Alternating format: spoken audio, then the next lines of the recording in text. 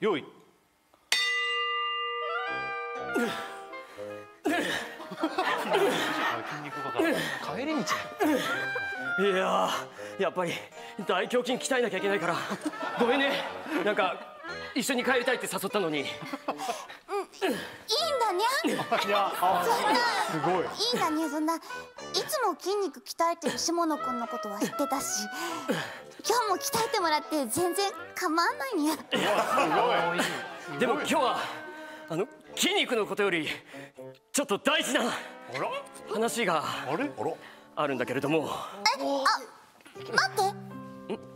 にゃもあるにゃにいや自分のことにゃゃも言いたいことあるにゃお互いなんか。可愛いすごく可愛いあいやでもやはりここは。いやいや。俺の大胸筋が言いたいって言ってるんだ。俺の大胸筋が言いたいって言ってるんだ。勇気を出して。大勇気を出して大胸筋待つにゃ大胸筋ダメにゃ俺は俺は君のことが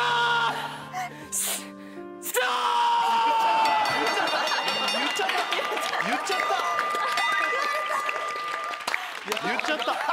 頑張ったね。いやいやすごい。そ